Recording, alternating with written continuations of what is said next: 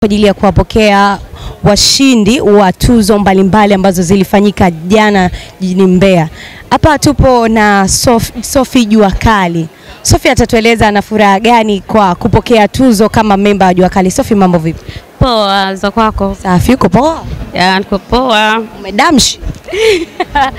Thank you. Okay, uh, tupe, tupe, tupe kitu ambacho ume experience ukiwa ndani ya Jua Kali.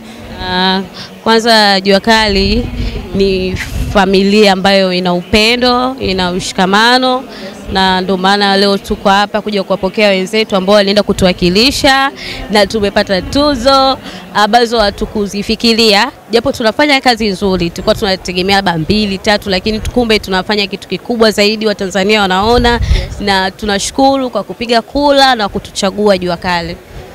Uh, kiupande wako Sophie, ungepokea labda tuzo ya mwigizaji bora, ungejifeel kiki, ungejisikiaje?